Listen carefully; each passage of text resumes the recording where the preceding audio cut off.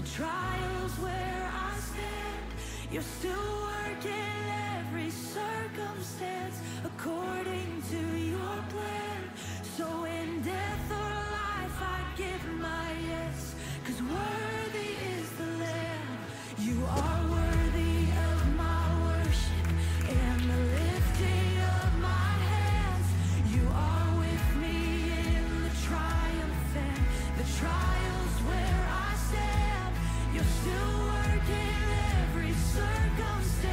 according to your plan. So in death or life, I give my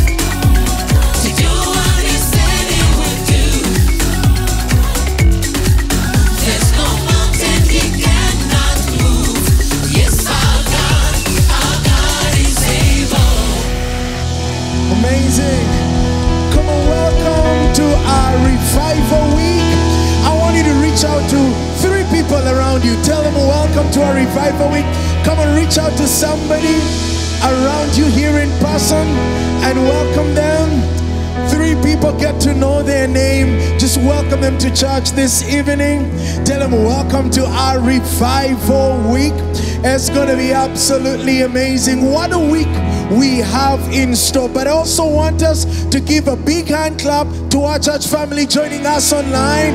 Come on, will you give them a big clap and welcome them?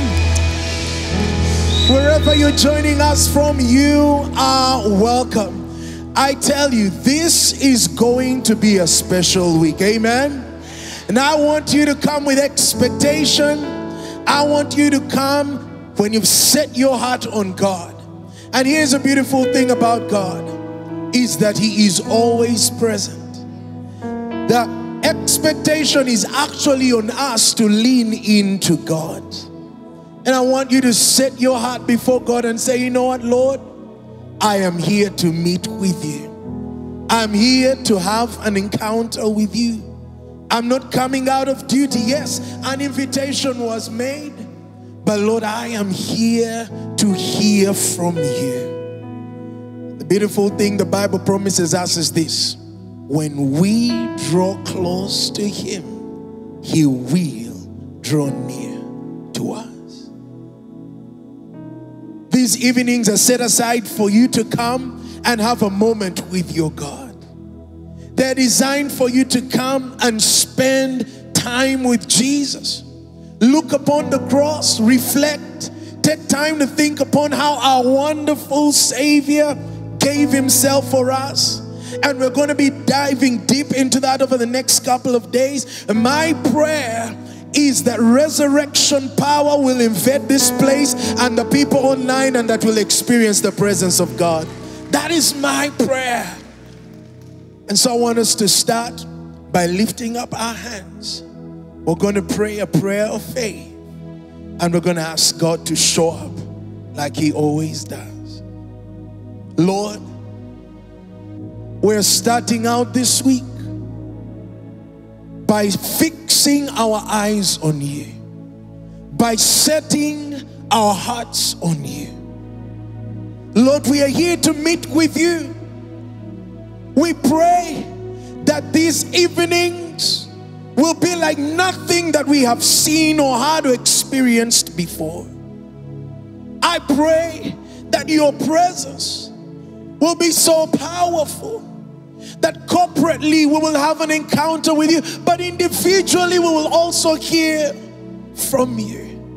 Here in person and online, I pray that the power of your presence during worship, during prayer, during the word will be like nothing we have experienced before. We are hungry for you. We call them revival weeks because we want you to revive us. We want you to set our hearts on fire once again. So we lift up our hands today and we ask, Lord, have your way. You who is our Savior, you who has called us out of the grave of darkness and called us into your marvelous light. May your presence show up and may our lives never be the same again. We give you praise and we give you glory in Jesus' name. Come on, say amen if you believe it. Are you ready to worship? All right, clap your hands like this. All right.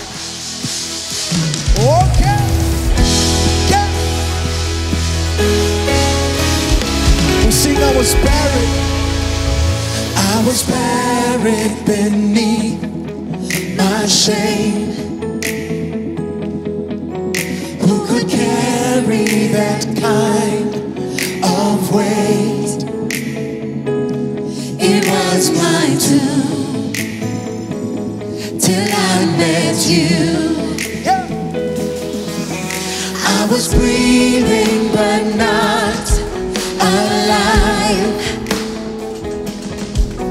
All my failures I tried to hide. It was my tomb till I met you. Come on, testify. You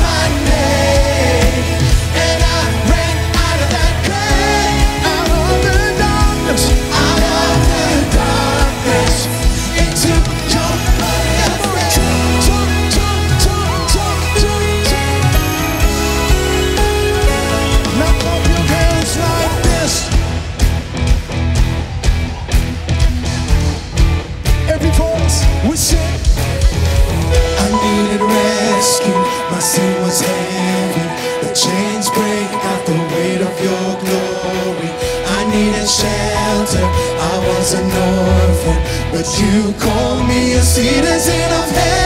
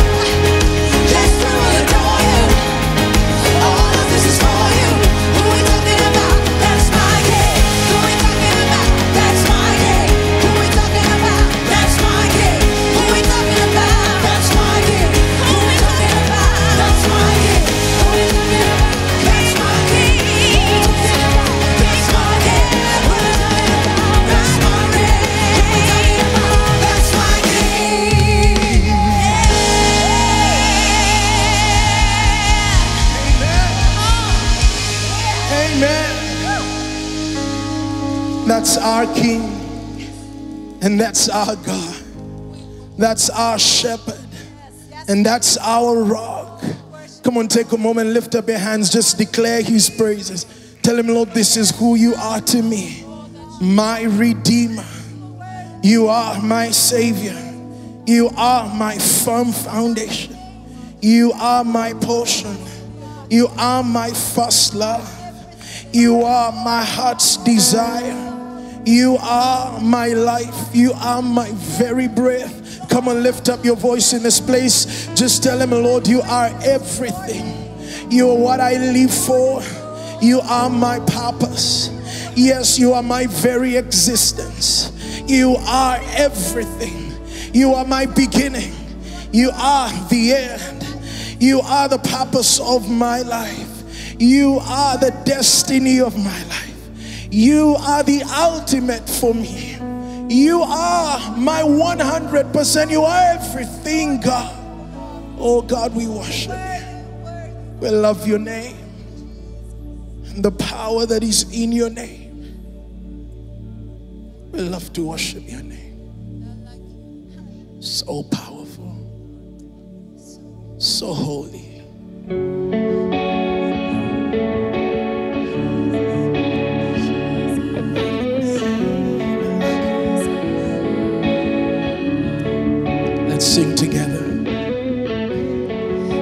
A name that levels mountains, comes out highways through the sea.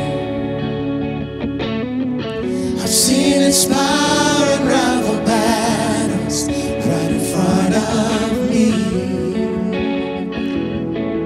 There's a faith. Let's declare it together. There's a faith that stands defiant. Goliath to his knees. I've seen us praise and ravel shackles right off my feet. Come on, with every hand raised to King Jesus. That's the power of your name. Just a mention makes a way. Giants fall and strongholds break, and there is healing. The power that I claim. It's the same that rolled the grave. There's no power like the mighty name of Jesus.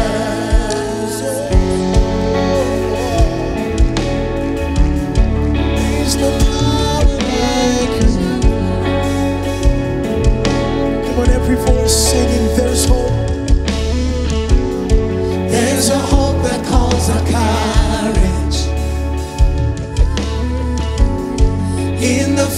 finest unafraid. The kind of daring expectation that every prayer I make is on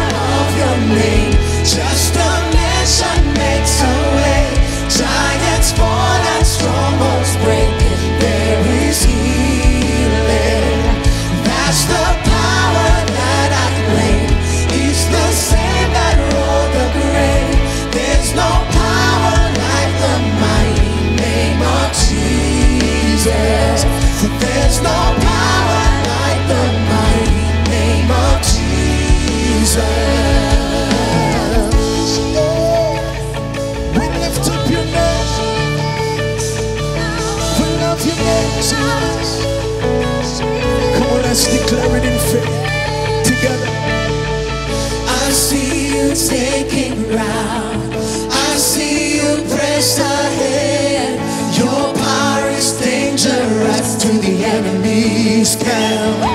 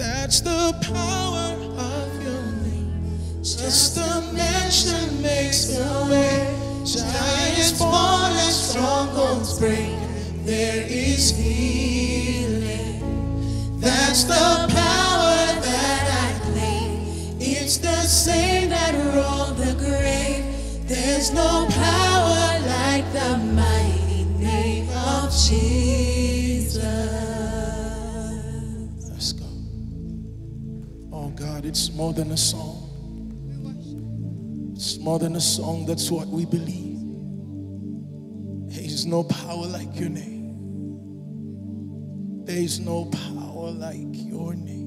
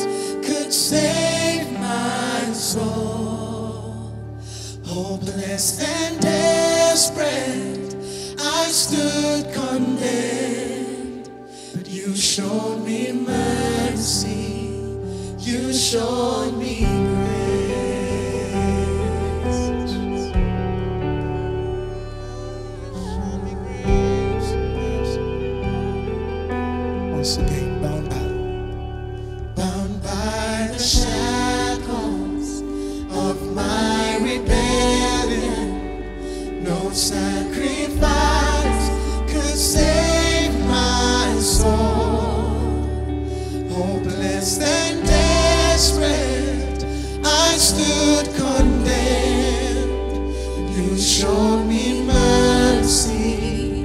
You showed me grace. Oh, we declare it was the blood, your precious blood, that washed my sin away.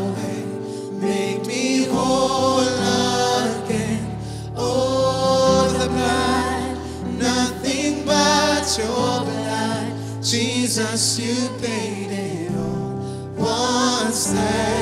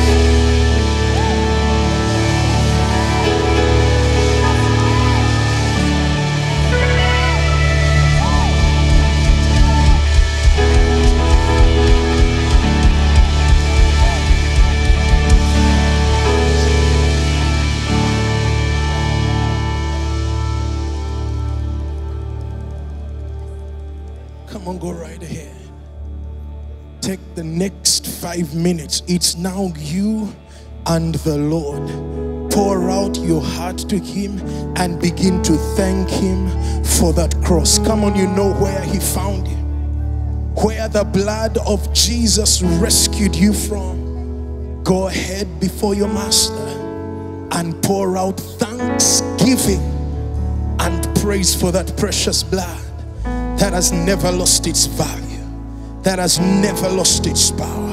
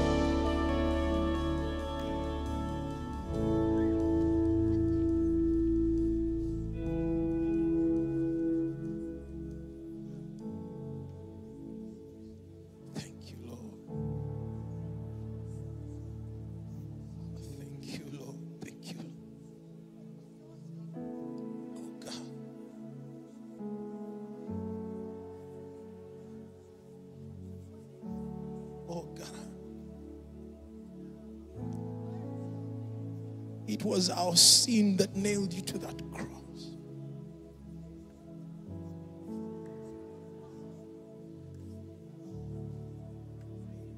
We were the rebels. We were the rebels. We are the ones who sinned against God.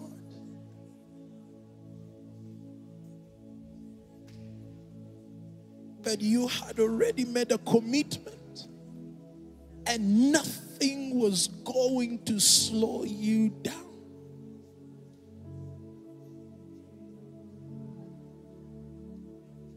And by the power of Almighty God, you entered into a more perfect tabernacle that wasn't made with human hands. And you shed innocent, pure, spotless blood. Once for all. Now we are here on the other end of your obedience to the Father. We are alive in the aftermath of your obedience. And we who deserved death have been given life, have been given mercy, who have been given grace. Who are we? Who are we? That you are so mindful of us.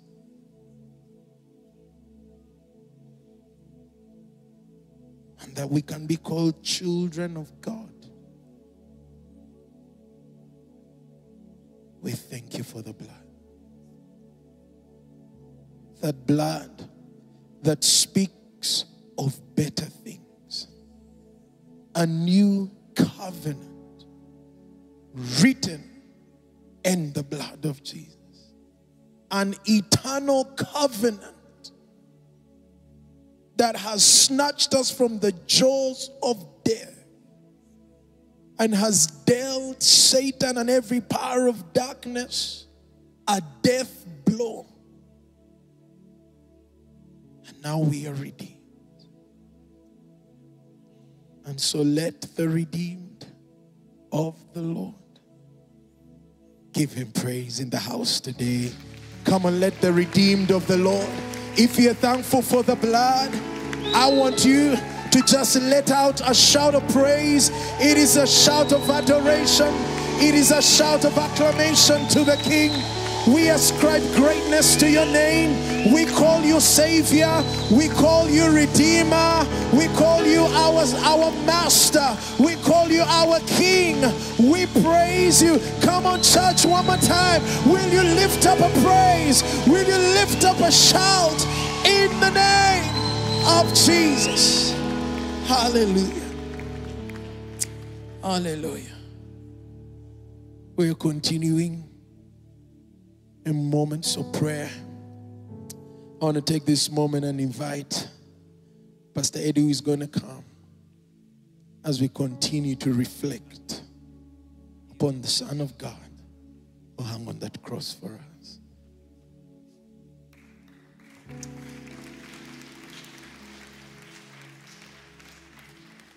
Please be seated.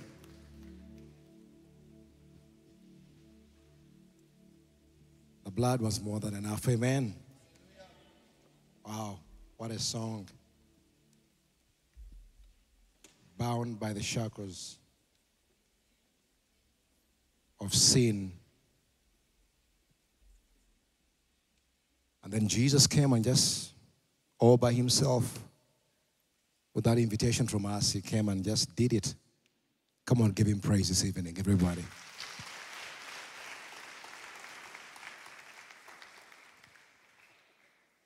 Amen. Easter is just a few days away, and this is day number one of our revival week. Amen. And revival is all about bringing things back to life. Back to life. And I'm looking forward to God doing a work in you, a new work in you. How many of you are expecting that God is going to do a work in your lives today? That is what I want in this place because faith is what really brings to life what God has in store. As we were preparing for this um, revival week, and of course, it's always about the cross. And you know, it's never, and it's not about the cross per se. The cross in itself has no power. What brings power to the cross is the person who hung on the cross. Amen. There were three people who hung on the cross on Calvary that day, but the cross I'm referring to is a cross of our Lord Jesus Christ. And when the Bible is talking about the cross, it means the cross of Christ, not any other cross, not the cross that you are wearing. Some of you, some of you, it's a necklace, it's a earrings, but the cross of Jesus Christ. Now, as we were preparing for this revival week, and we sensed in our hearts that we need to just really focus and zoom into the cross of Christ. And one of the scriptures that came to life as I was thinking about today was Galatians chapter 5, verse 11. Galatians is written by Paul to the people that he preached the gospel to that had believed the gospel, but later some Jewish religious people came, the Judaizers, and they said, You need to add some works to Jesus in order for you to be really saved. In other words, the cross was not enough. You need to do something that is Jewish for you to be saved. And then Paul comes back and he said, You foolish Galatians, who has bewitched you? In other words, something has changed. By the time you move away from something that was freely given to you by grace and you want to add some works, something has really gone wrong. And then Paul, this preacher of the cross of Christ, lived a life of persecution. And in verse 11, he says this. Where's verse 11? It's right there. Brothers and sisters, if I am still preaching circumcision, in other words, the works of the law, why am I still being persecuted? In other words, Paul is saying the reason I'm being persecuted is because I'm preaching something different from circumcision. And the people who were persecuting him were religious leaders. In that case, the offense of the cross has been abolished. The cross is offensive to anything you want to add to what Jesus has already accomplished for you on the cross. The cross offended the Jewish believers because they thought, no, no, no, no, no. It cannot be that simple. No, for all our lives, our ancestors, they tried to obey the law. Now you are saying that salvation simply comes by grace alone, through faith alone in Christ alone. No, no, no, no. You gotta add something to it. It offended them that salvation was free. Now let me jump to First Corinthians chapter 1, verse 18. Paul says, For the message of the cross is foolishness to those who are perishing. It's foolishness to the sinner. It does not make sense. Because how can a man dying on the cross lead you to something that you've always wanted and you get it free of charge? It doesn't make sense. It is foolishness to those who believe that you have to do something in order to receive something from God in terms of salvation. It's foolishness. But to us, to us who have understood that the cross is enough, we can never add nothing to it, that whatever Jesus did on the cross was sufficient, and the Father was fully satisfied in the sacrifice of the Son, and we come freely, we offer nothing to God for us who are being saved. The cross is the power of God. It is the power of God. For it is written, I will destroy the wisdom of the wise. Those who think you can gain salvation through philosophy, through debates and rational thinking, through your own worldly education. I'll destroy the wisdom of the wise and intelligence of the intelligent. I will frustrate. Where is the wise person? Where is the teacher of the law? Where is the philosopher of this age? Has not God made foolish the wisdom of this world? For since in the wisdom of God, the world through its wisdom did not know him. Friends, every religious system is the way of trying to figure out God and how we can be right with God. And many religious systems have come out with ways, steps to knowing God, but also steps to pleasing God when you fail on the second step. And it's never enough.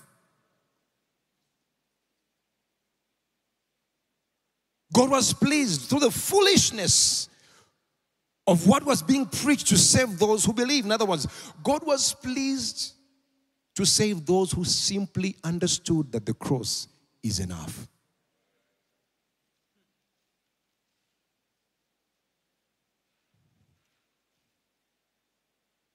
Jews demand signs. The Jewish mind for the Messiah is a powerful guy who must come and destroy the Romans. For the Jewish mind is, I gotta perform in order to merit. The Jews demand power. If you are the Savior, then show yourself. But then we're saying the Messiah was the man who died on the tree. But the same law said, Cursed is the man who died on the tree. No. It is offensive to the Jewish mind to say, the Savior came and died on the tree. No. That is weakness. Because our Messiah, He is the Christ, the anointed one. He is strong, He is mighty. He must come and put all these Romans in their place. But they missed knowing that God's ways are not our ways. They demand, they demand signs. But the Greeks, what do they look for? Wisdom, intellect, philosophy. That's what they look for. But to those whom God has called both Jews and Greeks, Christ, the power of God and the wisdom of God. To all those who have believed on Him, Christ, Jesus, is both the power of God and it's also the wisdom of God. If you want to experience the power of God, you come through Christ. If you want to experience the wisdom of God, you come through Christ. Christ is enough.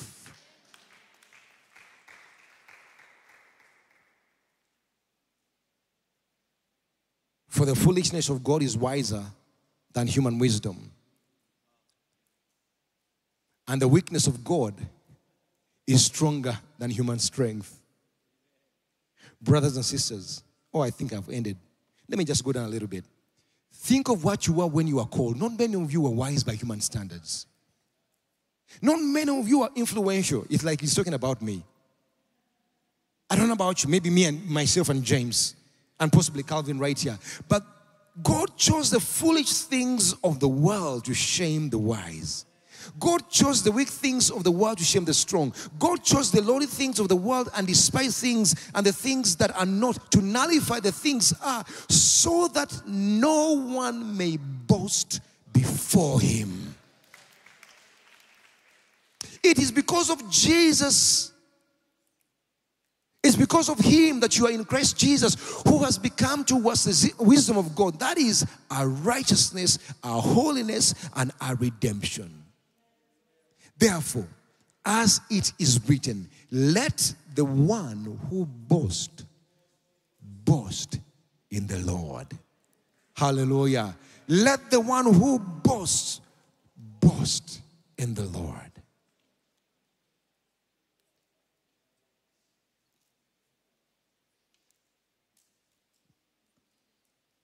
I finished reading.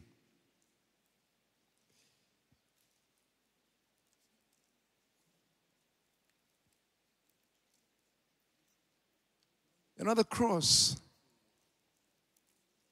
And the power of the cross can only made, be made available to you when you have nothing to offer. The cross can only benefit you when there is nothing you have to offer. That's what Paul is saying.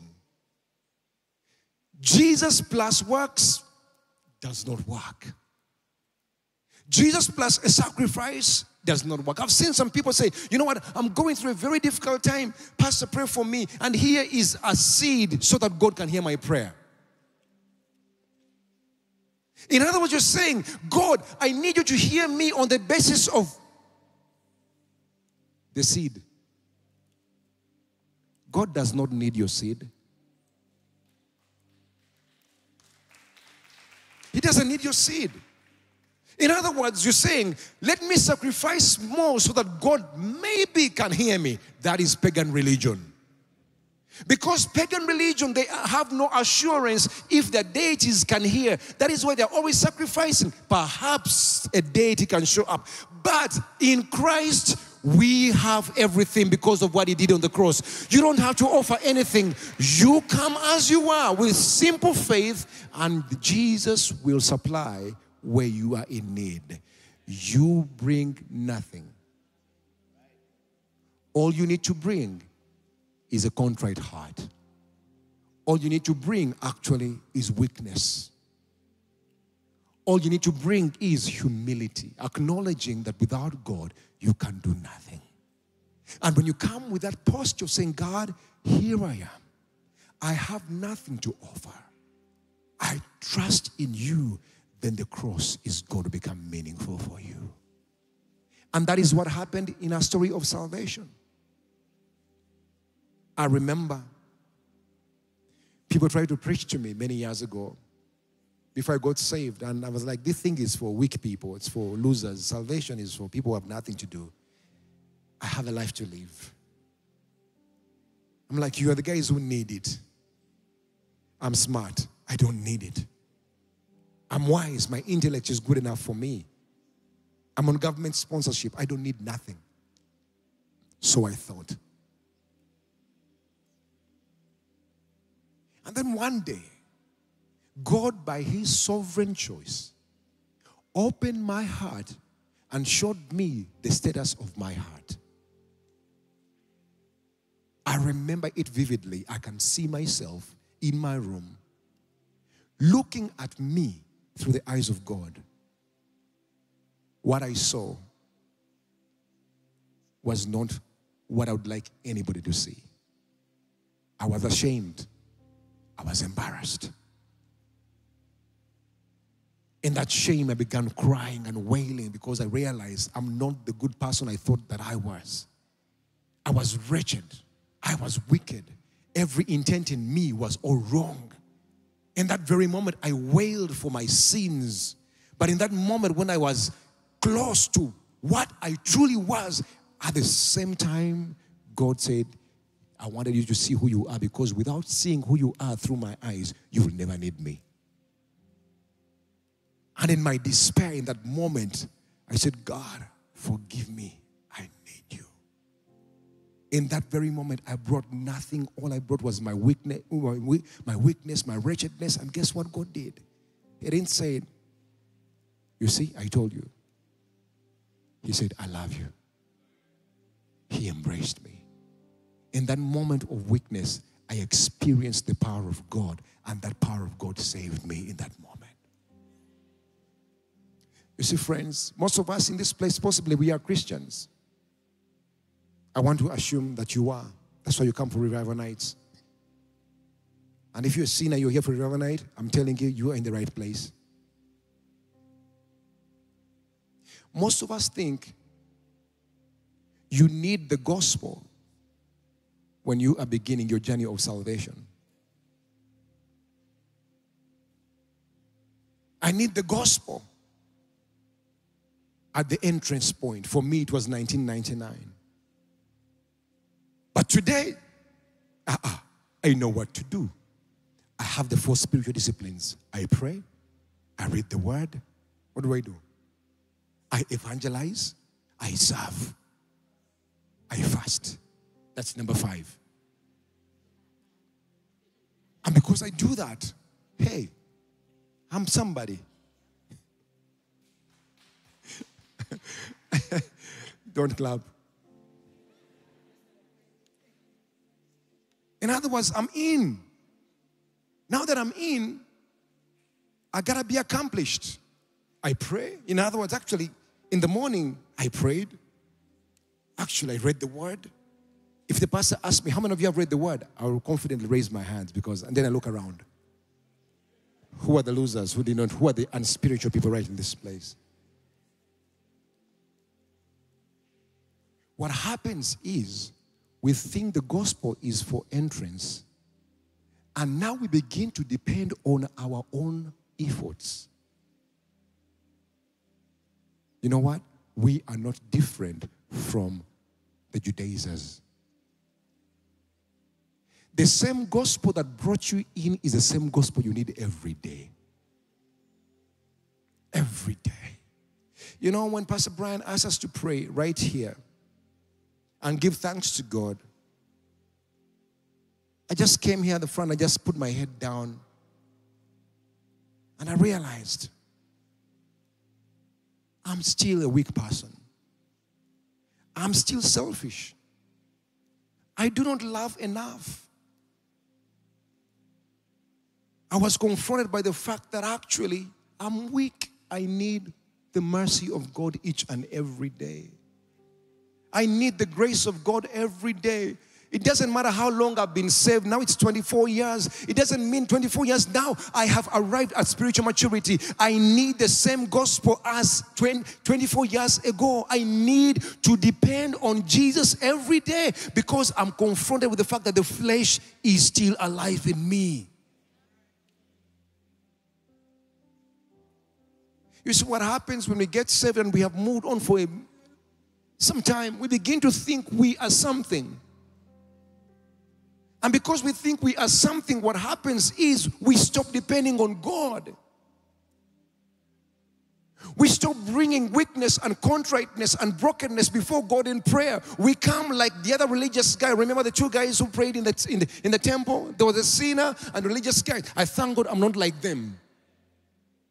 But this other guy came and said, God, Look on me with mercy, for I'm not even worthy of coming here. And Jesus said the sinner was commended, the religious guy was not. You know, when we come say for a long time, sometimes we think that our prayer means something to God, our fasting means something to God, our Bible study. Those are good things, but they do not mean anything in terms of who you are today before God. We must depend on God each and every day as if we are just beginning. Because if you don't lean on God, who are you leaning on?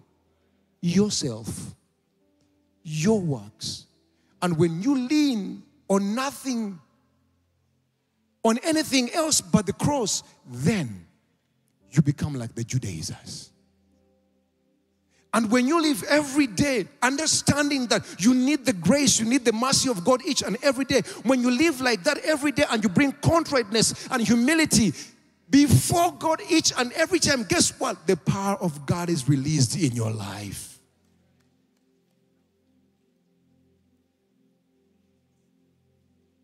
If you think you're something, I want to let you know that the cross won't benefit you tonight. You must take everything away from yourself and say, God, only you.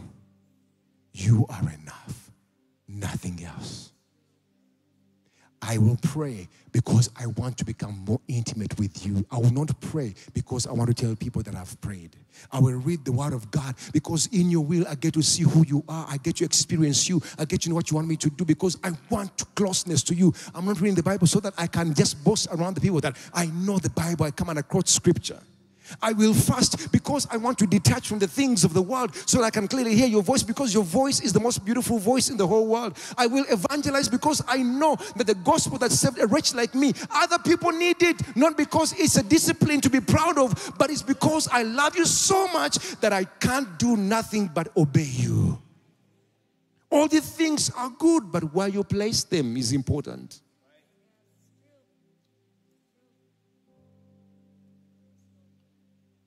Every time we bring all these beautiful things as accomplishments, we are not different from the persecutors of Paul. The cross becomes meaningless for us. And so, friends, tonight, this evening, this revival week, some of you, I'm told we are still we're online. I didn't even know that. Our prayer is that today, this week, that we shall come back to the wonder of the cross. That we shall come back to our first love. That we shall understand clearly that without the cross, we are nothing. Like Paul said, let anyone who boasts boast in the cross. A boast is anything you place your security, your worth, your identity in. That's what a boast is. What is your security? What is your identity? What are you bringing before God tonight? Let anyone who boasts boast in the cross. In other words, place your security a hundred percent in what God has done for you, not in what you have done. Don't come with your accomplishments before God today as you praise God. Here I am. I've done all these things, therefore, do something. No, it's meaningless. Let your boast be in nothing but the cross of Christ. What he has done for you. The Apostle John said, We love him because he first loved us. The reason we can even master an ounce, an atom of love is because we know that we are fully loved by God. It begins with Him. Where are you, boss? Where is your boss today? What is your relationship like with the Lord Jesus Christ? Is it based on what you do? Or actually, is it based on what God has done? Are you moved by what God did on the cross? Last weekend, which was yesterday actually, we were reminded about the words of Jesus when he said, My God, my God, why have you forsaken Your salvation, your salvation was very costly. Your salvation was very costly. Not because God the Father forced the Son. No. The Son willed to die on that cross for you. Never forget how much God has loved you. And if somebody has loved you this much, how can you not love him back? If somebody has loved you like this while you're still a sinner, I mean, what is the most reasonable response? If somebody loves you at your worst and even dies for you, even when nobody else can die for you, what is the appropriate response? Paul, says, therefore, in view of God's mercies, present your body as a living sacrifice, holy and pleasing. Present your body. In other words, the cross demands surrender, complete surrender. Bring contriteness, brokenness, humility today. Offer your bodies as a living sacrifice, holy, set apart. Some of you in this place, possibly as I'm speaking, you've been living sinful lives.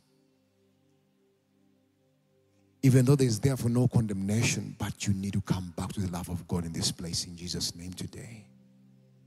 So, what is a response to the message of the cross that I've been talking about? Surrender,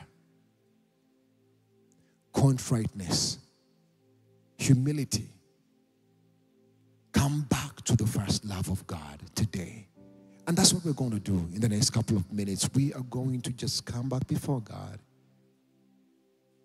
and return to our first love. Let's all rise upon our feet right now. Let's rise to our feet.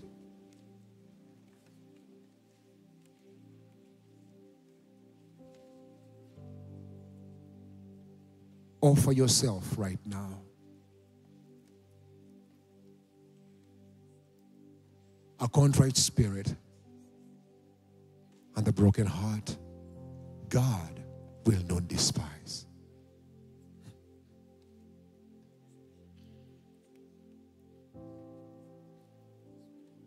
Oh, we love you, Jesus, this evening.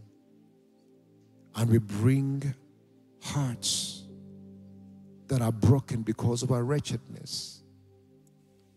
We have nothing to offer but offer our hearts to you today. Oh God, we present our bodies as living sacrifices today. We bring repentance, we bring ourselves back to you today. Holy and pleasing. Oh Lord, we love you this evening. We want you. We need you. We are lost without you. We are desperate for you. We are empty without you. In fact, we bring our brokenness and emptiness this evening and we pray. Receive us this evening. Child of God, this is your moment. Cry out to God for yourself. Bring yourself, offer yourself. Oh, we surrender our hearts, we surrender our minds, we surrender every part of who we are to you, God. Because we want you, we want the best from you, but where there is sin, where there is arrogance, pride, God, you can never work in that environment. But where there's brokenness, where there's wickedness, God, you pour your grace, you pour your mercy, you pour your power. Because your power is made manifest in our weaknesses. So, God, we come. We don't postulate that we know everything. We come before you as it was in the beginning and we bring our lives. We offer ourselves to you, God. We offer ourselves to you, God.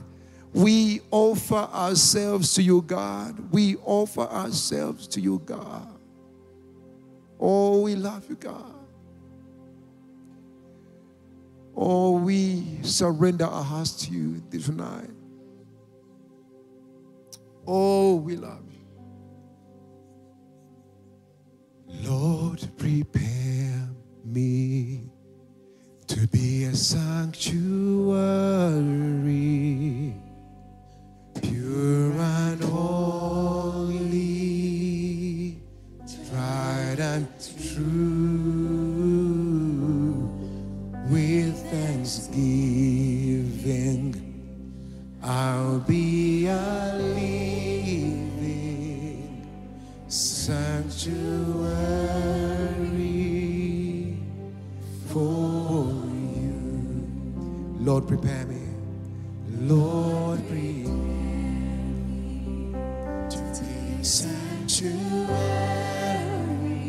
pure and holy, tried and true. With thanksgiving,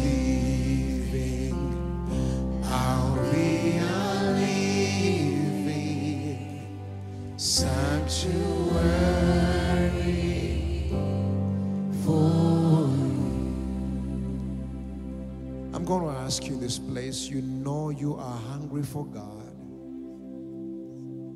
You need a fresh impartation from God. You are offering yourself afresh to God. There is a place, a space here at the front. Feel free to walk to this place as we sing, as we pray.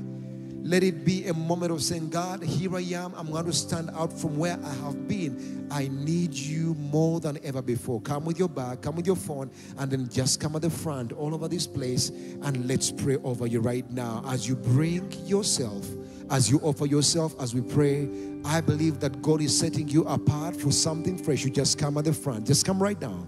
Right now. Walk down. Come in this place and let's pray over you. Right now. Come, come. Walk down. And as you come at the front, don't wait for somebody to lay hands upon you. Just begin to cry out to God. You can kneel before. Let this be the altar for you to experience God. Just kneel across this place and let's pray for you right now in the name of Jesus. Cry out to God. You know what you're going through, you know the status of your heart. Right here from all that space, this space at the front. Just go ahead and just allow, invite God, surrender to God. Let God begin to do a new work in you.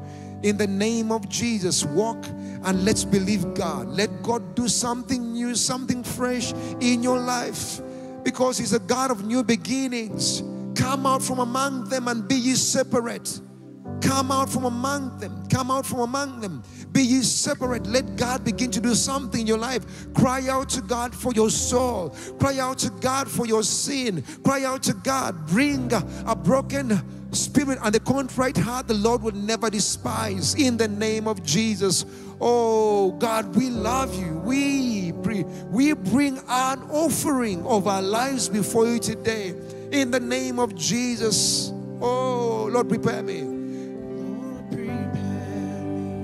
Let's sing it. To be a sanctuary,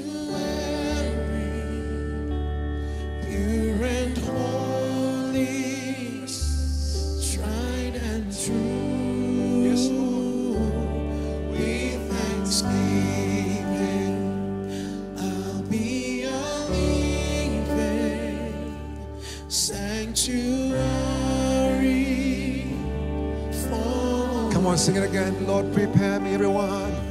Lord, prepare me to be a sanctuary, pure and holy, pure and holy, tried and true.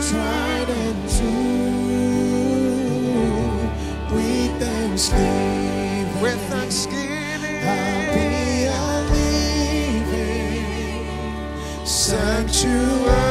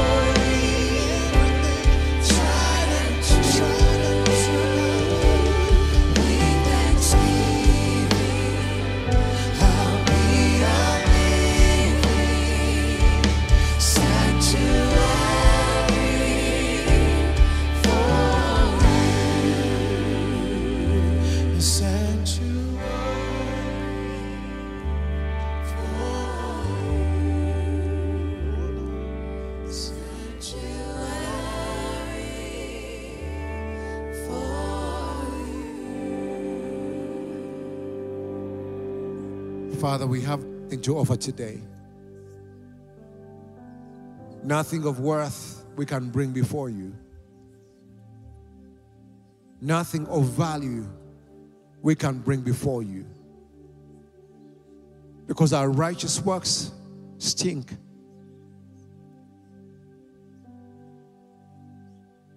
For all have sinned and fall short of the glory of God.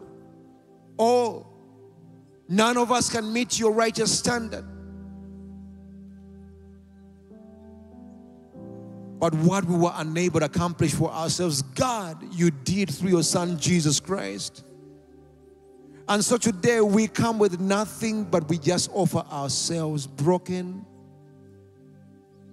spirits and contrite hearts.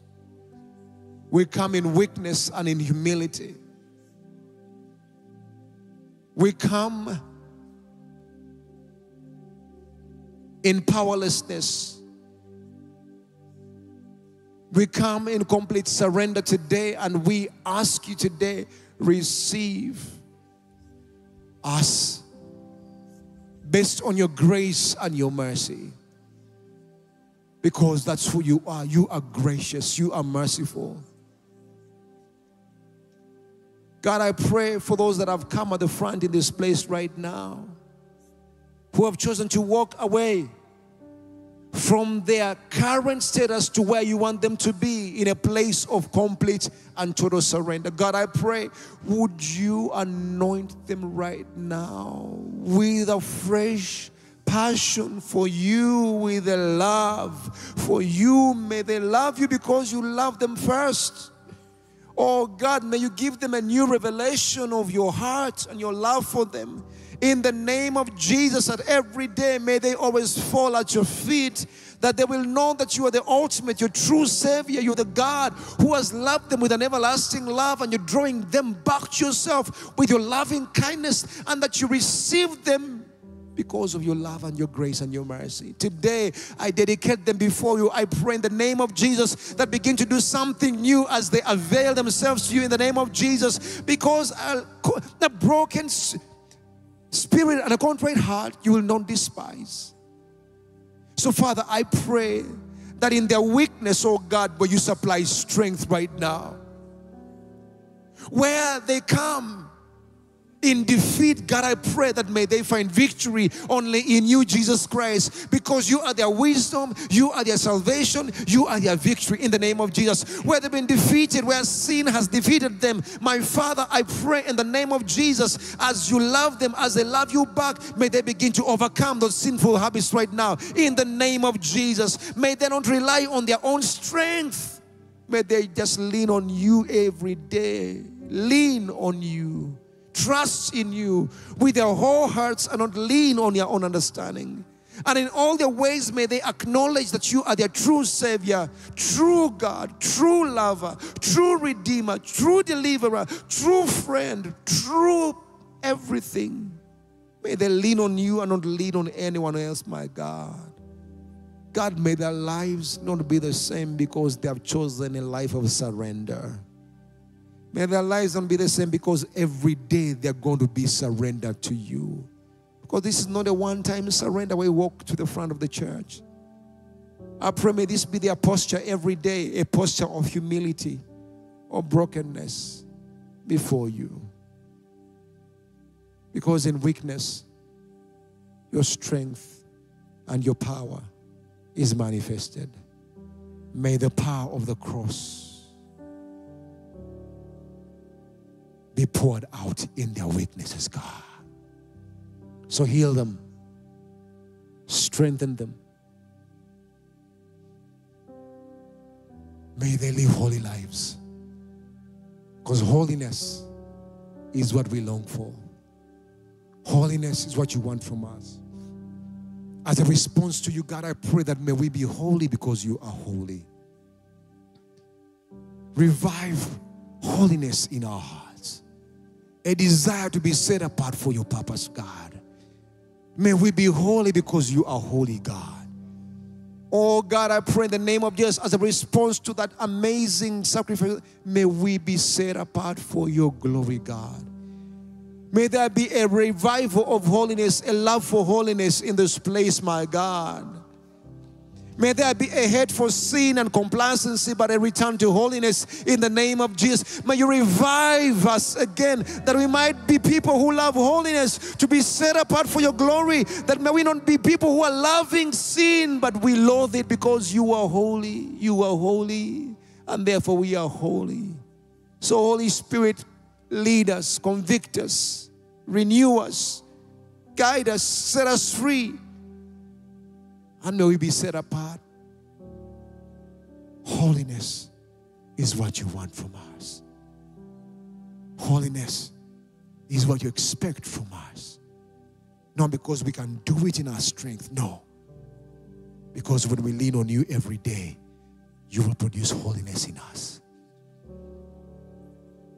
So, God, I pray not only for these people in front here, I pray for those online in their homes, in their cars, wherever they are.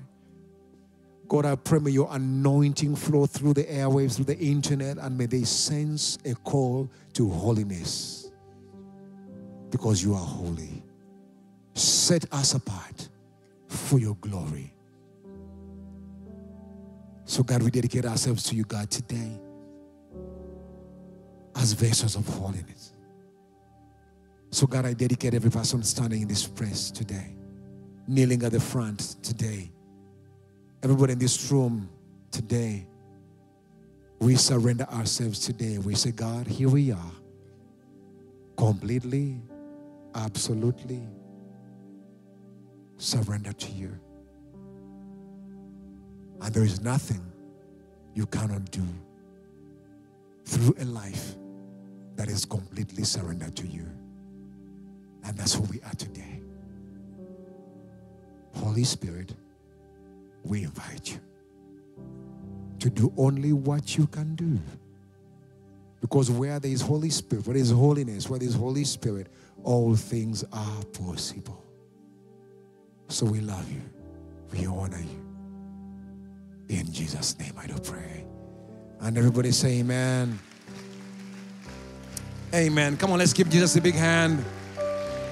Our friends, you can go back to your seats.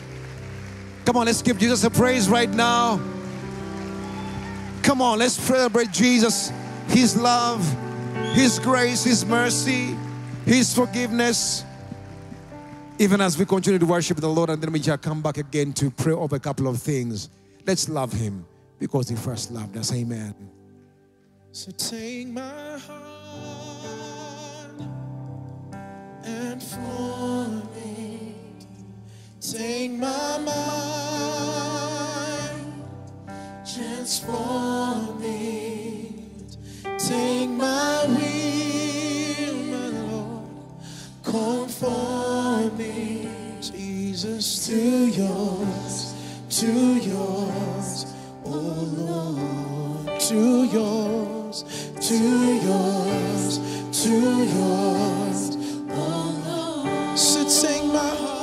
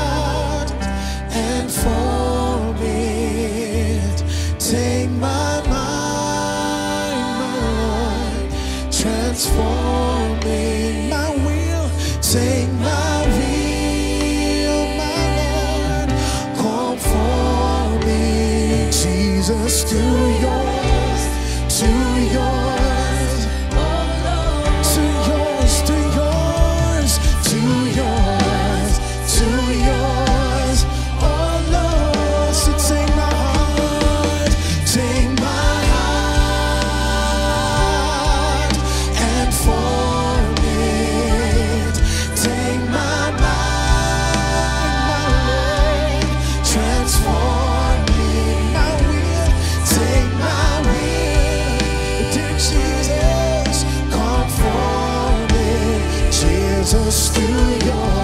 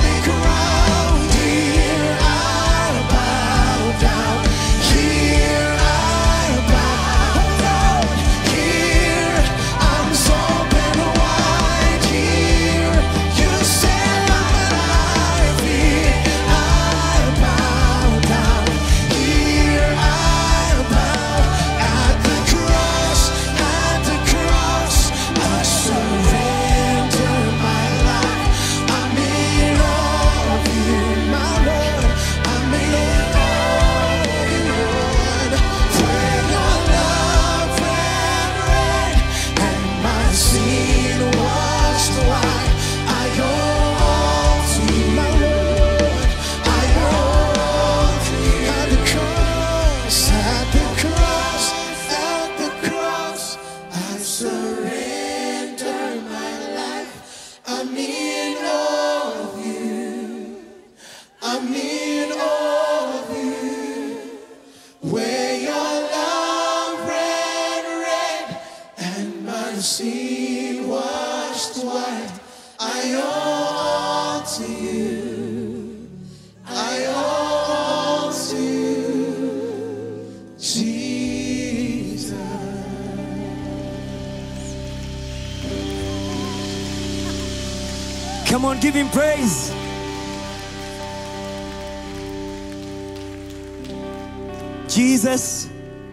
I all all to you.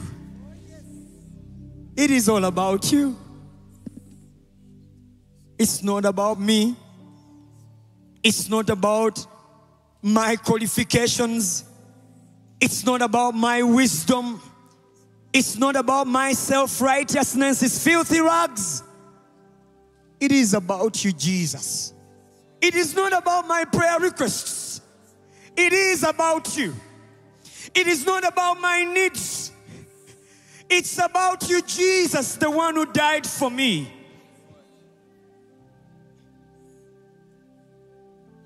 Lord, it's about you. It's about your sacrifice. It's about the pain you went through. It's about every cost that you took for me that I would stand today and have the privilege of saying I'm a child of God.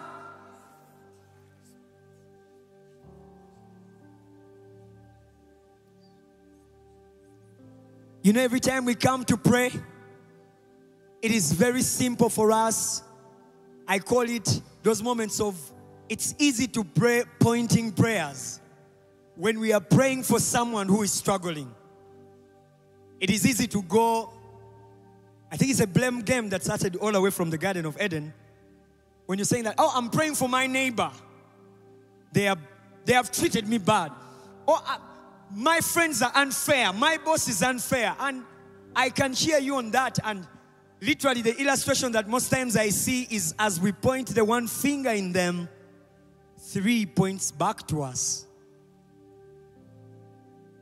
And we are back in the same spotlight. That while you'll be standing and blaming a murderer and you're angry at your neighbor, by the end of the day, you're all the same.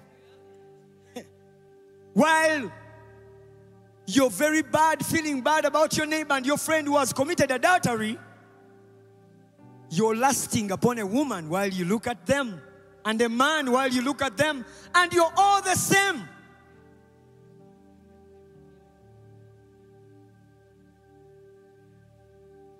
And I was just reminded of David. What makes him special is that many times he took responsibility for his wrong. He always took responsibility for his wrong. He admitted his sin. He admitted that he was wrong, he was sinful, he was struggling. And that's where revival begins. That is where healing begins. When you understand that me, myself, I am too busy trying to change the world, but I'm not changing. I am not changing. I don't have time to change and repent. And as Pastor Eddie started and he pointed it to us and says, It's you, it's about you. I want us to take a moment not only to reflect, but to begin to ponder on some of the confessions and the things we need to make before God. And just to settle it with you, they are wrong, everything is wrong. But what about me? Am I right? Oh no, I am not. None of us is. And this is not just a struggle we are going through. This is a struggle that even Paul the apostle also went through. And he's talking about his flesh and his wrestling with sin in his flesh. And I want to read for us a portion in Romans. He actually begins all the way from verse 14 and he's talking about his struggle with his sin. He's talking about the struggle with the sin. The things that I don't want to do are the things that I do. Sometimes the things, it's, it's just wrestling with sin. And let me tell you, this is the story of our lives. Let's read the portion together. I'm going to read from verse 21. He mentions and says, from verse 21. I have discovered the- this principle of life that when I want to do what is right, I inevitably do what is wrong. But if you can actually allow me, I just feel like I am haunted by the script, the verses before. And this is what they say. In verse 14, it says, So the trouble is not with the law, for it is with spiritual and good. The trouble is with me, for I am too human, a slave to sin. I don't really understand myself, for I want to do what is right, but I don't do it. Instead, I do what I hate. But if I know that what I'm doing is wrong, this shows that I agree that the law is good. So I am not the one doing what is wrong. It is sin living in me that does it. Verse 18 says that, and I know that nothing good lives in me. That is in my sinful nature. It's in my sinful nature. I want to do what is right, but I can't. I want to do what is good, but I don't. I don't want to do what is wrong, but I do it anyway. But if I do what I don't want to do, so I am not really the one doing wrong. It is sin living in me that does it. And then he ends up by saying, I have discovered this spiritual principle of life that when I want to do what is right, I inevitably do what is wrong. I love God's law with all my heart, and I know this is the story of our lives. But there is another power within me that is at war in my mind. This power makes me a slave to sin. It is within me. Oh, what a miserable person I am. Who will free me from this kind of life that is dominated by sin and death? That sometimes I come and I enter the church, and when I go out of the church, it looks like nothing has changed. When I go back in my room, I don't struggle to go back to what is wrong and you do it again. And even when you hear the message and it cuts through you, when you walk out and you go back to that family where you know you have to make things right, you feel you don't have enough strength to face the weight of your sinful nature. Paul, the apostle, the man who loved God so much, was in this place. And today, as Pastor Eddie was sharing about the message of the cross, the message of the cross should make us reflect and understand that the cross can only make meaning when you know that you're a sinner and you need a savior. And that's the moment I want us to take today. And I don't want to promise that some things are going to end today. Like as a church, we keep doing it because it's supposed to be culture. It's actually an attitude of renouncing sin and breaking up with your sin on a daily. And you break up with it and say, I am not going to do this. Where you renounce and you confess your sin to God and say, God, I'm angry. I struggle with anger. I don't like this nature in me, but I surrender it to you. And I know that you died on the cross that I'll be free. You defeated the sting of sin. And today I present this nature to you. And I ask you, oh God, deliver me. Free me from this bondage. And that is the deliverance we need today. So I want you to take a moment, child of God. And I want you to get real with God. Don't beat around the bush. You know your struggle. You know what you're going through. You know the areas in your life that you're going through. We are throwing away the blame game and we are taking responsibility and we are seeking God's help today to give us grace even in the moment of weakness. So come on, wherever you are, take a moment. Take a moment. Take a moment and begin to commune with God begin to have a conversation with God and just call Him and say, Lord, there's this weakness in me. There's this area in me that I struggle with. There's this thing that I don't like to do. But I find myself back in the same place. And yet I know that you've shared your message today and you've showed me the power in the cross that gives me grace to overcome sin, oh God. Oh, how much I need you. Give me grace. Search me, oh God. Search me today.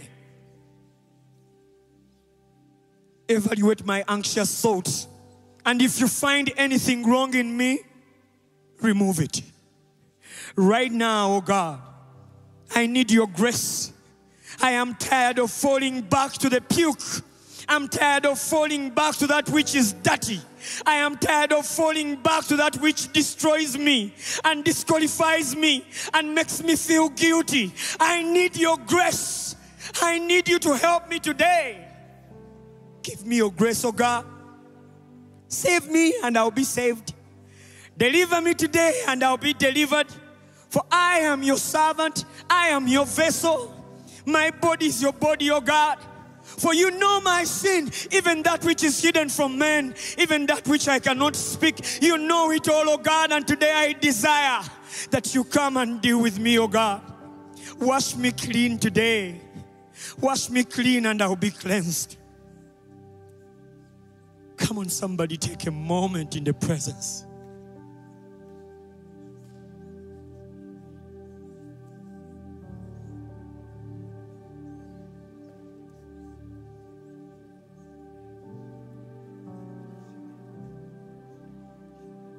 Come on, somebody watching online, take a moment. Take a moment wherever you are. And just begin to surrender your sin to God. You cannot experience the greatness of God with sin. You need to surrender it today. You cannot experience the blessing of God with that sin. You need to surrender it today. You need to renounce it. You need to renounce it. You need to seek. Just desire. Somebody, you're going to get your breakthrough today. Something that you've been going through for long is ending today. That as you cry out to God with all purity of heart, He is meeting you right where you are at your point of need. He is breaking the biggest man, the stronghold that has been holding back your blessing, that has been holding back His favor upon you, that has been stopping you from enjoying His presence. His sinful nature even makes you run away from His presence. Come on, confess it to Him, renounce it, desire more of Him. Let Him help you today.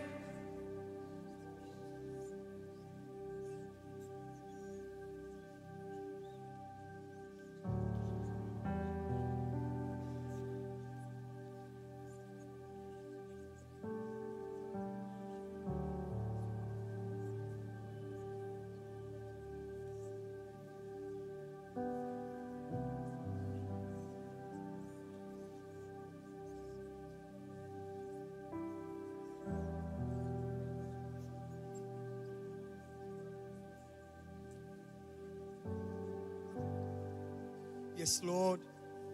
We acknowledge today that the yoke of sin was broken on the cross. You defeated sin when you died on the cross, and today, oh God, we desire to tap into that victory by the power of the Holy Spirit, oh God. Give us grace now for addictions to begin to break in the name of Jesus.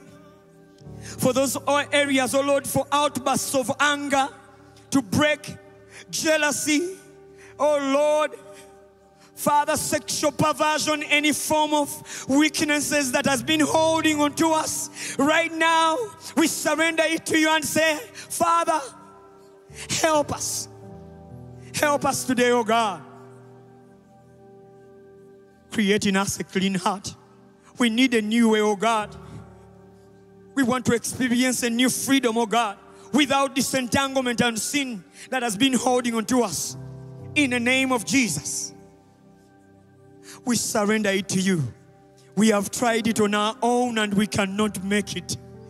We have tried it on our own. We have consulted people and we can't make it. We cannot make it. We need you today to help us break the sting of our sinful nature, oh God. We need your grace, oh God. Oh Lord those evil days where we do things that we don't want to do, where we do things that don't give you glory, where we do things that are filthy, that are dark, that are very bad and dishonoring to your name, oh God. May you wash us clean today. Oh God, wash us clean. Have mercy upon us. Have mercy upon us, oh God.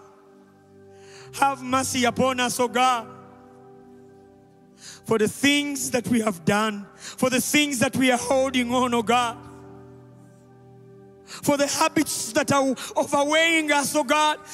For where we are swimming in a pool of entanglement with sin, oh Lord. We need your breakthrough and deliverance today. Come and make a way where seems to be no way. For you said it in your word that you're a faithful God. For you're able to allow us not to be tempted beyond what we can bear. But even with such temptation, you provide an escape route. Right now, you make a route for someone to escape the sting of sin, oh God to escape the, the yoke of sin in the name of Jesus, oh God. Give us your grace. You give us your grace right now. You give us your grace. I need you, Lord. Son of God, have mercy upon me. I'm a man of unclean lips. I sit with people of unclean lips, and my eyes have seen the Lord. Take that posture of Isaiah. It's a posture of humility. Take the posture of David. Oh, create in me an clean heart, oh God. Cast me not away from your presence, oh God. Purify my heart. Come on, take that posture. It is the right posture. It is where deliverance is.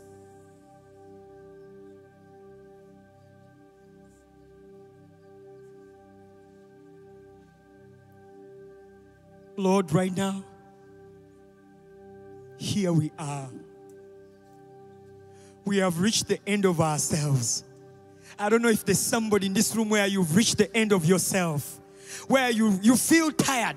You're tired. You're tired. You've tried, you've done everything, and you're tired. When you reach the end of yourself, then God's hand begins to work in you. Just surrender say, Lord, I am tired. I need you more, more of you now. I am tired of this nature. I am tired of giving excuses. I am tired of repeating the same cycle. I don't know how this originated, or you might even know how it came about in your life. Begin right now to confront that sinful nature and renounce it and break its yoke because He has given you power. The cross has given you power to live a life free from sin.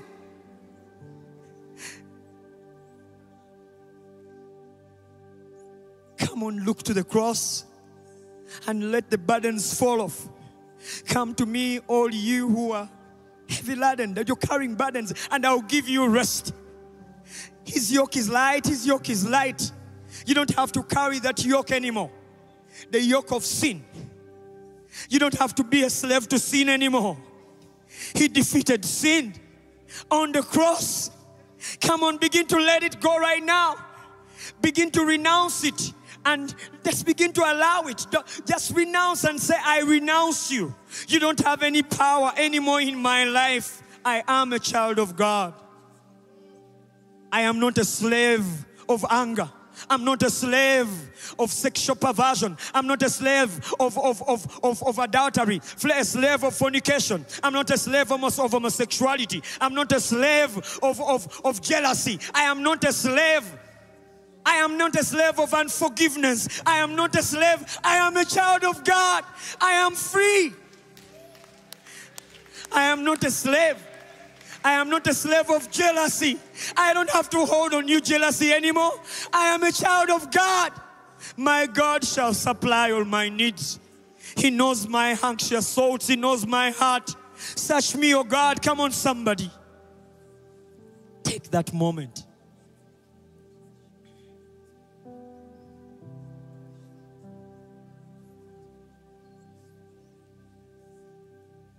Take a moment, take some moment now.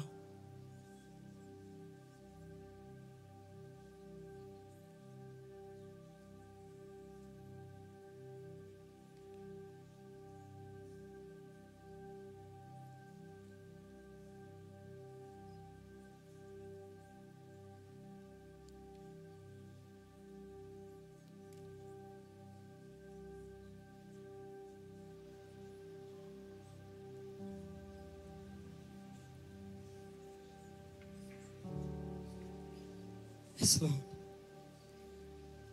as I pursue you, my God. Daily, I make a covenant with you, O Lord, by your grace, that I'll bring my flesh into subjection, that your glory shall be revealed in me. Lord, I offer my body as a living sacrifice, holy and acceptable. That is my reasonable service. I offer all my weaknesses. Lord, I bring them to the altar and I say, Lord, have your way. Have your way in me, O God. Have your way in me, O God. Let's take a moment of surrender, even as we are in introspection, and just raise your hands as a sign of surrender to Him and just surrender. There's power in that posture. Just surrender to Him. Surrender. Surrender to God. Surrender. Surrender to God. Let's take a minute. Surrender.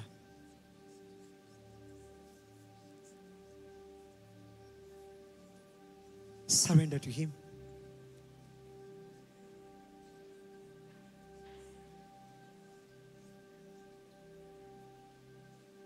Yes, Lord. I surrender everything to you. Less of me and more of you. Have your way.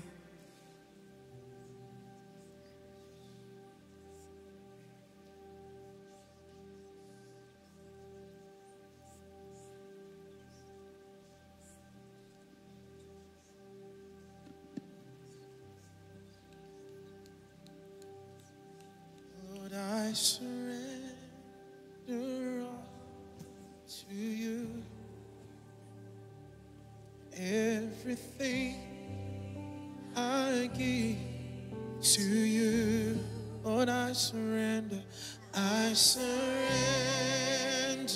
all to you. Everything, everything I give to you. Lord, I surrender. I surrender all to you. Everything, everything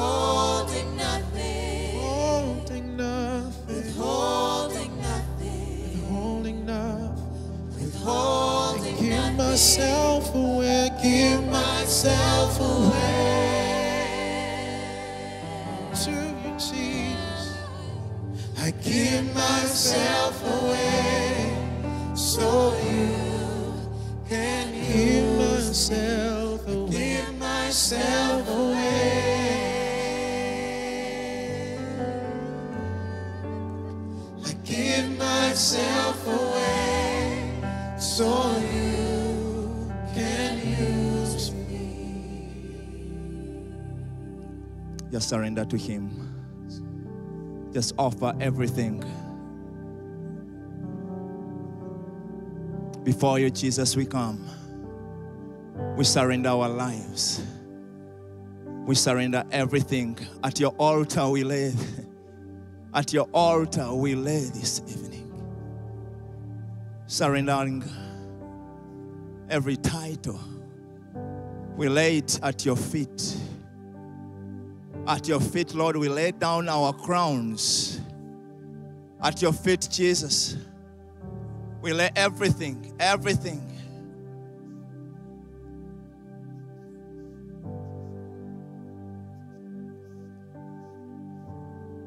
Walk in us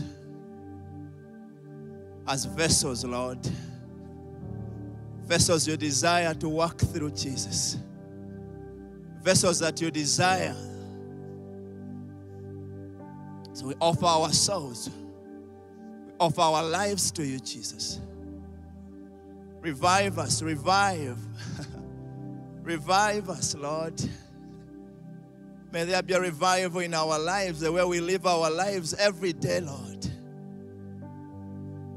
That's the cry of our hearts while we are in your presence.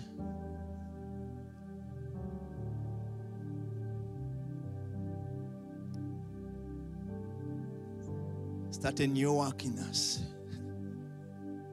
A new work. Do a surgery in our hearts.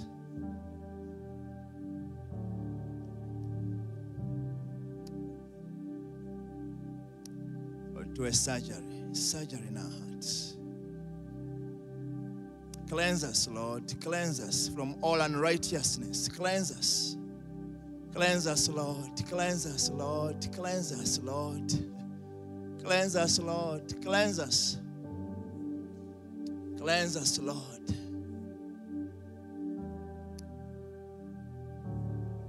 Oh God.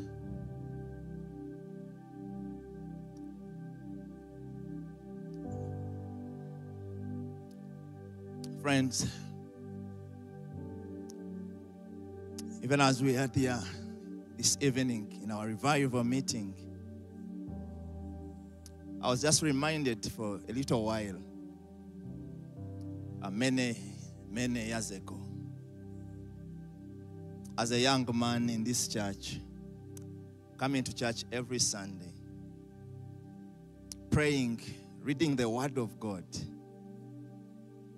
but struggling with sin in my life. I could do everything religiously, which we can do. But certain things could not go away. In my background, I come from a highly polygamous background. So there was a spirit of lust in me. Now, that one was coupled with alcohol. When you have those two brothers, life is just a mess. I could come here, I could pray, I could listen to the word. But somehow, when I could go back, the same week, I got back into the same thing. Sunday morning, I'm here religiously. 10 o'clock service was my service. Do everything. Another week, another week, another week. And I was wondering, what is it? I, I pray, I read the word of God. What is it? I was introduced to one person who is a friend, and he's the Holy Spirit. The Bible says he gives us the power to live a godly life. He breaks the bondage but also gives us the power to live a godly life. And that surrender, when we sing, I surrender to you, it is I surrender to His leading, to His guidance, to His rebukes. At times, He's actually rebuking us. And He rebukes you. So, tonight, in our revival week, I want us to, our surrender to be to the leading of the Holy Spirit. The leading of the Holy Spirit.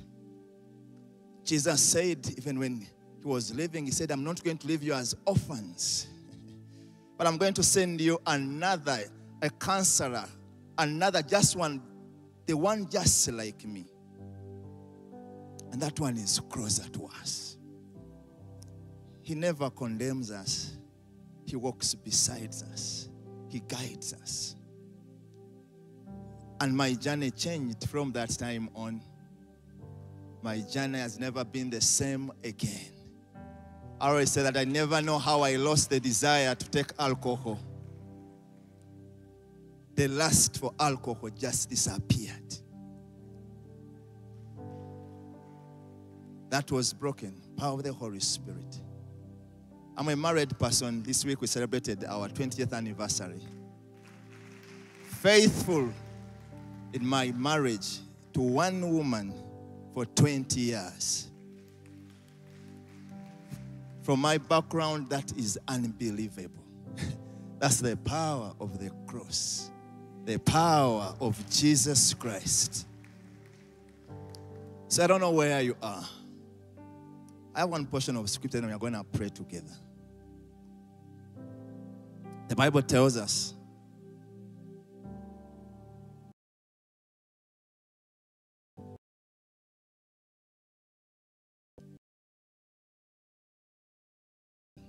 Eleven begins and saying that for the grace, the grace of God has appeared that offers salvation to all people. That's the grace we stand in. It teaches us to say no to ungodliness and to worldly passions and to live self controlled, upright, and godly lives in this pleasant age, this wicked age in which we are in. While we await for the breasted hope, the appearing of the glory of our great God and Savior, Jesus Christ, who gave Himself for us to do what? To redeem us from all wickedness and to purify us for Himself a people that are His very own, eager to do what is right. I want you to just take a moment wherever you are and surrender to that leading of the Holy Spirit. Invite Him. Invite Him in your life, even right now. Just begin to pray wherever you are. His grace is sufficient. The power of the Holy Spirit is available. Is available even in this place to break every bondage. We have had Pastor Jimmy leading us. We had had Pastor Eddie leading us in that area, that leading of the Holy Spirit to surrender your, your life to Him, surrender to His leading, even right now. Invite Him in your life, Holy Spirit. Just invite Him.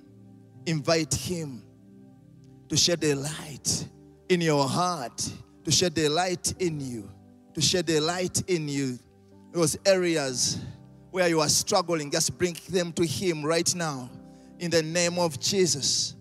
In the name of Jesus. Surrender to Him.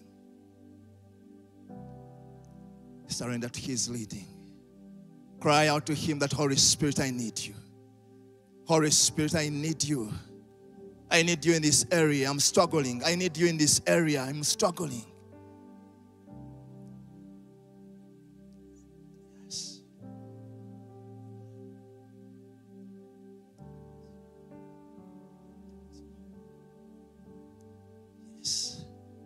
Surrender to His leading.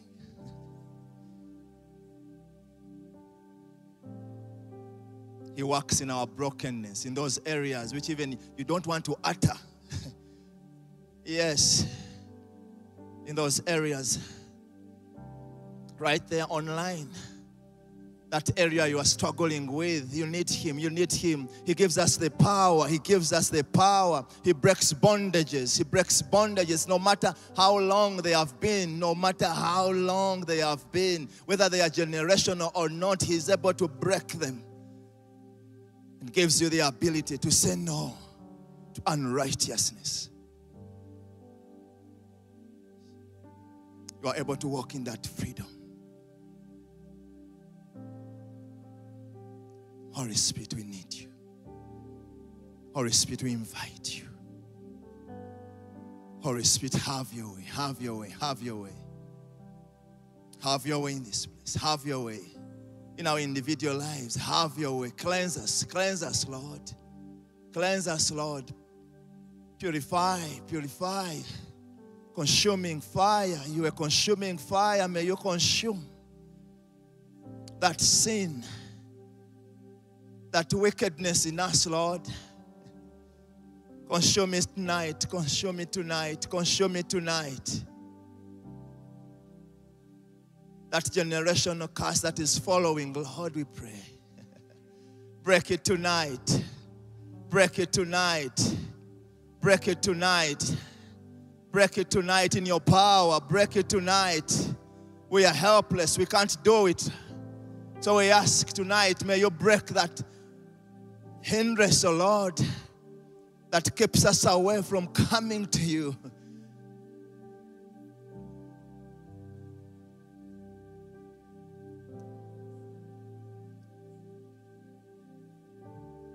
Yes, Lord. Move across this place. Move across this place. Move across this place, Lord. Holy Spirit, move across this place.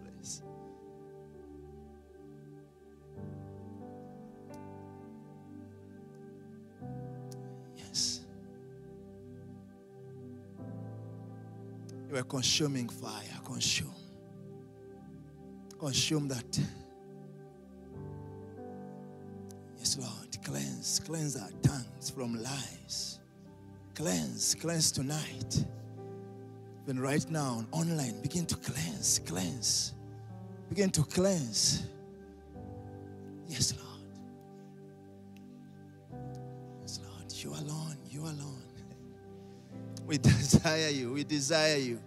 We desire you. We desire you. Our desire is you, Lord. We are tired. We are tired. We are tired. Indeed, we are tired. We are tired. Yet we are helpless without you. We are helpless without you. We are helpless without you. So, Lord, we need you. Holy Spirit, we need you tonight.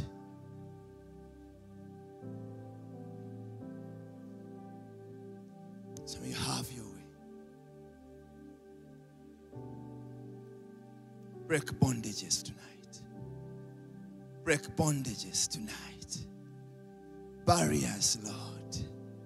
Hindrances, whatsoever they are. Sicknesses and diseases, whatsoever they are. You are the consuming fire. I pray right now in the name of Jesus. May you consume, oh God, every wicked thought. Yes, Lord. Every pretension which is against you, Jesus.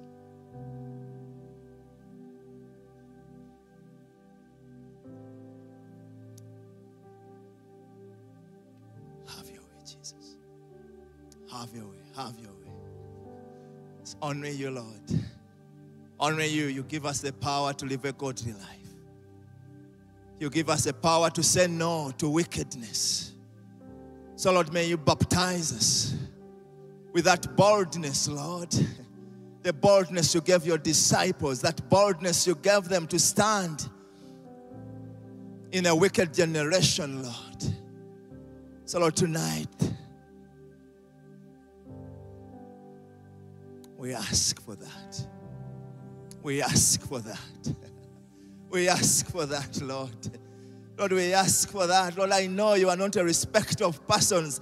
Lord, you have done it before. I ask tonight in the name of Jesus. Bondages of lust. Right now, I break you in the name of Jesus. Addiction to pornography. We break you right now in the name of Jesus. In the name of Jesus. Masturbation, spirit of masturbation. I break you right now by the power of the Holy Spirit. In the name of Jesus. In the name of Jesus. In the name of Jesus. Lust for power. Lust for power. I break you right now in the name of Jesus. Holy Spirit.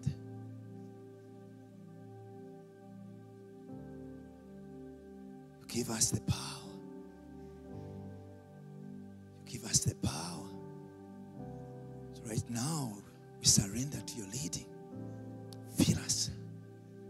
Fill us, Lord. Fill us, Lord. Fill us, Lord.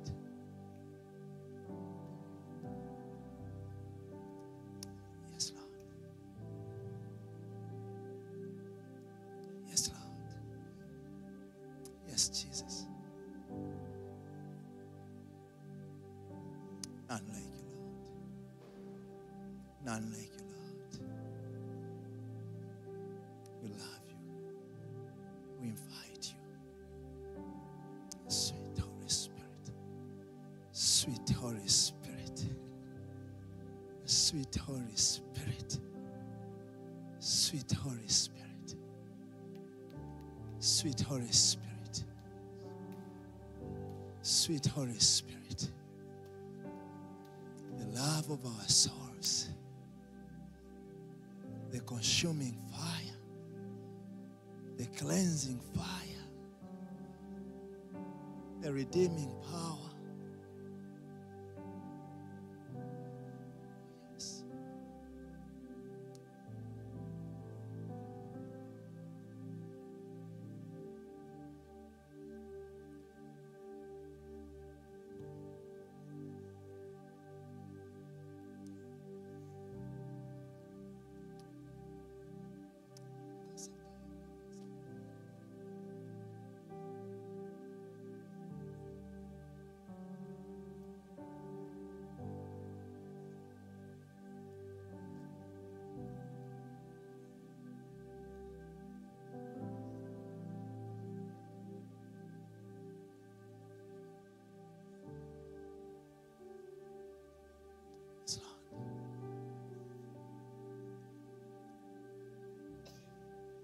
Holy Spirit,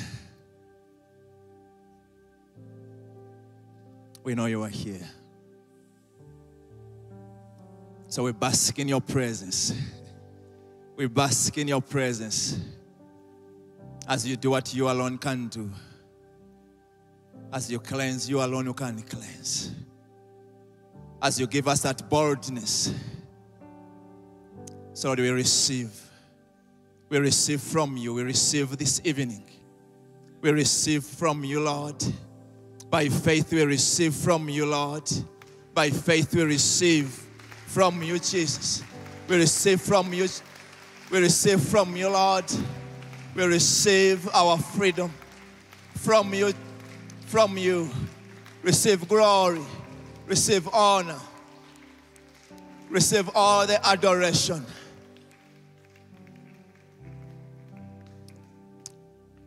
Let us continue in worship.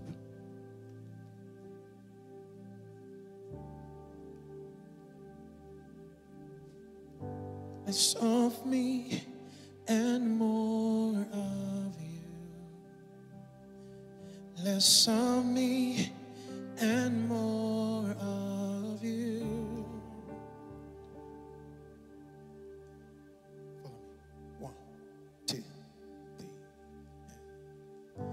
less of me and more of you. Less of me and more of you. Revive my soul.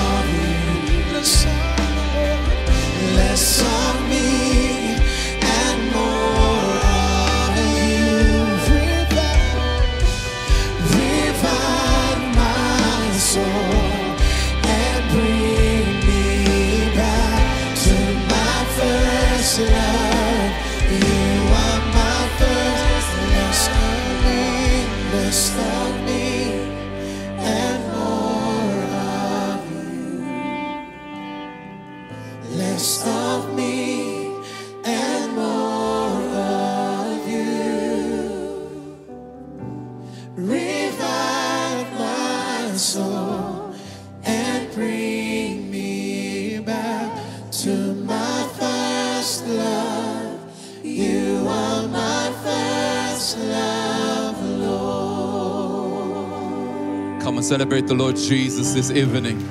Give the Lord a big clap of praise this evening for returning us back to the place of our first love. Come on, you can do better than that. Wherever you are online joining, come and celebrate the Lord. Celebrate His mercy. He's a God of second chances. Come on, He's slow to anger, He's abounding in love, He's full of mercy. He forgives our sins. He delights in they that are contrite at heart and lowly in spirit. That is who our God is. Revival simply reminds us that our God is a faithful God to forgive and to renew and to restore. Amen. Before you take your seat, I'm just going to read a scripture for you. I just felt that I need to crown, we're going to crown the night with this scripture.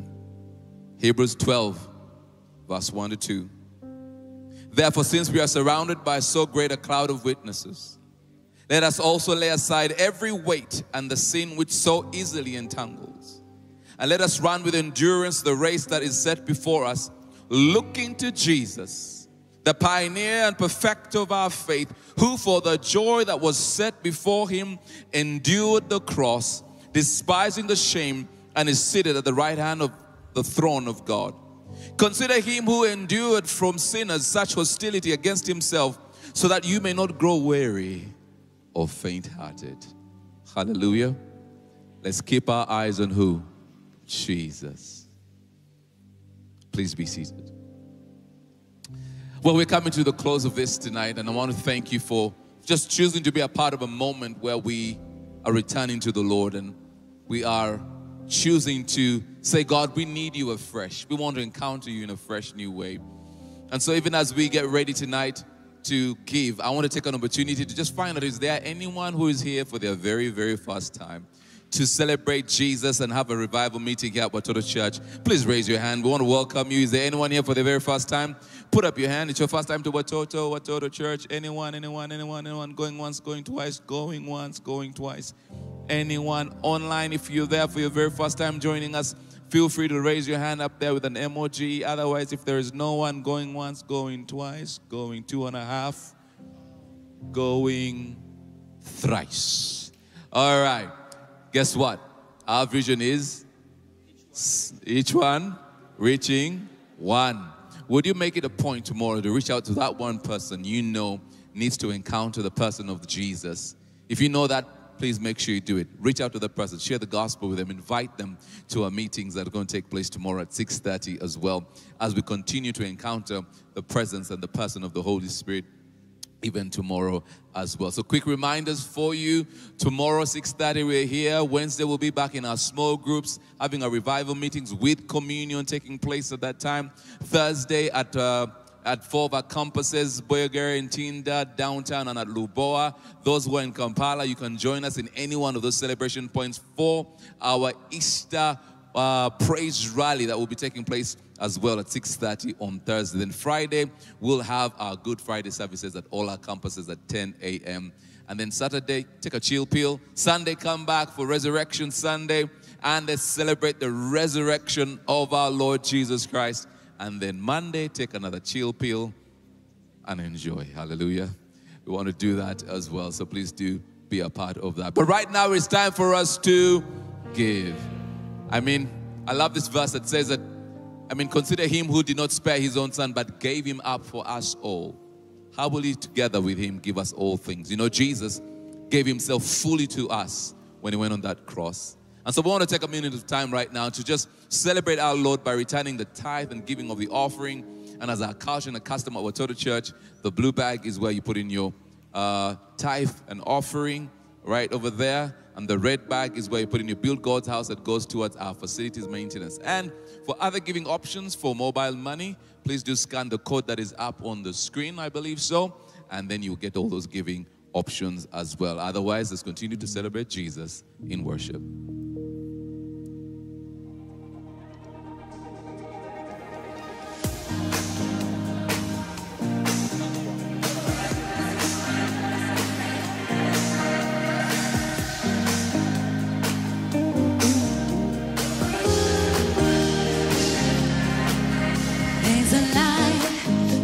With hope and grace, fills the sky with new mercy each day. We're alive. Let your glory pour out, Jesus.